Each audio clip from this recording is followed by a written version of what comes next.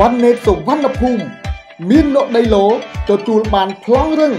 នេះបើតាមលោកដឹកកន្ធាអភិបាលរងខេត្តព្រៃវែងបានបញ្ជាក់ថាទឹកចំនួនបាននឹងកំពុងវាយប្រហារដល់ស្រុកនិងក្រុងចំនួន10នៅក្នុងចំណោម13ស្រុកនៃក្រុងនិងខេត្តព្រៃវែងនិងប៉ះពាល់ពលរដ្ឋជិត6000គ្រួសារនិងដំណាំហើយក៏យើងបញ្ជំលះពលរដ្ឋជិត200គ្រួសារស្វែងរកទីទួលមានសុវត្ថិភាព លោកដូចកន្ធាអភិបាលរងខេត្តព្រៃវែងបានថ្លែងថាគ្រោះទឹកចំនួននៅខេត្តព្រៃវែងបានប៉ះពាល់ដល់គ្រួសារដែលរងគ្រោះមានចំនួន5ចាប់5634គ្រួសារនិងគ្រួសារដែលត្រូវជំលះមាន168គ្រួសារហើយក្រុងស្រុកទាំង10ដែលរងការប៉ះពាល់នោះរួមមានស្រុកស៊ីធោកណ្ដាលស្រុកពីរាំងស្រុកពោរៀងស្រុកពីមរោស្រុកស្វាយអន្តរ ស្រុកកំពង់ត្របែកស្រុកពីមជោស្រុកព្រះស្ដេចក្រុងព្រៃវែងនិងបាភ្នំ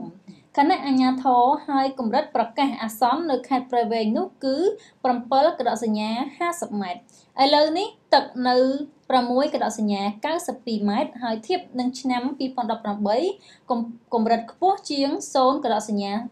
17ម៉ែត្រគឺចិត្តប្រកាសអាសន្នផងដែរលោកអភិបាលរងខេត្តបានបញ្ជាក់ទៀតថាគ្រួសារខ្វះស្បៀងមានចំនួន505គ្រួសារនិងគ្រួសារមានជំងឺ5គ្រួសារផ្ទះដែលរងផលប៉ះពាល់មានចំនួនចាស់គឺ5926ខ្នងនិងបានប៉ះពាល់ដល់ស្រូវវស្សាចំនួនចាគឺរហូតដល់1ចា1សែនចា10000 444ហិកតាគឺច្រើនខ្លាំងមែនទែននិងខូចខាត258ហិកតា ផលប៉ះពាល់ផ្លូវកៅស៊ូប្រវែងជា100ម៉ែត្រនិងមានភូមិចំនួន គឺរហូតដល់329រងផលប៉ះពាល់លិចផ្លូវដោយសារតែទឹកចំនួនព្រមទាំងផ្លូវលំចំនួន ចាគឺមានរហូតដល់142,002ម៉ែត្រក៏ដូចជារងផ្លូវខូចខាតផ្លូវលំប្រហែលជា គឺច្រើនពាន់ម៉ែត្រមែនទែនខូចខាតផ្ទះមួយខ្នងសាលារៀនចំនួន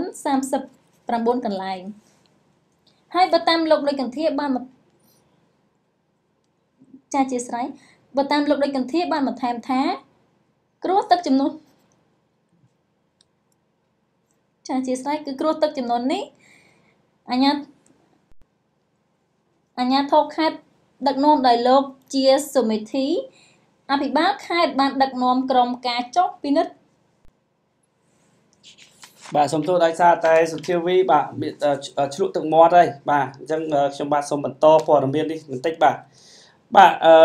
អញ្ញាធរខេត្តព្រៃវែងដែលដឹកនាំដោយលោកជាសុមេធីអភិបាលខេត្តបានដឹកនាំក្រុមការងារពិនិត្យស្ថានភាពទឹកចំនួននិងណែនាំដល់ប្រជាពលរដ្ឋ ថាសូមឲ្យមានការប្រុងប្រយ័ត្នខ្ពស់និងណែនាំឲ្យអាជ្ញាធរមូលដ្ឋានបន្ថែមការប្រុងប្រយ័ត្ននិងត្រៀមលក្ខណៈដើម្បីជួយសង្គ្រោះប្រជាពលរដ្ឋនិងស្វែងរកទីទួលសុវត្ថិភាពជូនពួកគាត់ផងដើម្បីធានានូវសុវត្ថិភាពជូនពួកគាត់នោះបាទតំបន់ដែលគ្រោះថ្នាក់គឺហាមមិនឲ្យធ្វើដំណើរឆ្លងកាត់ឬត្រូវដាក់សញ្ញាសម្គាល់ឲ្យពួកគាត់បានដឹងជាមុនហើយអាជ្ញាធរទាំងអស់ត្រូវតែដាក់កម្លាំងវេនប្រចាំការនៅតាមកន្លែងដែលប្រឈមនឹងការលិចលង់ខ្លាំងដើម្បីធានាសុខសុវត្ថិភាពជូនប្រជាពលរដ្ឋយើងជាពិសេសគឺត្រូវតែត្រៀមចែកស្បៀងចំណីអាហារអង្គត្រីខជូនពួកគាត់ផងដែរបាទបាទនេះគឺជាស្ថានភាពនៃទឹកចំនួនដែលកំពុងតែវាយប្រហារមួយផ្នែកនៅឯខេត្តព្រៃវែងដែលមានរហូតទៅដល់10ក្រុងនិងស្រុកឯនោះបាទជាហេតុធ្វើឲ្យប៉ះពាល់ដល់ប្រជាពលរដ្ឋជិត6000គ្រួសារនិងចំនួនប្រជាពលរដ្ឋជិត200គ្រួសារទៅដល់កន្លែងទីទួលសុវត្ថិភាព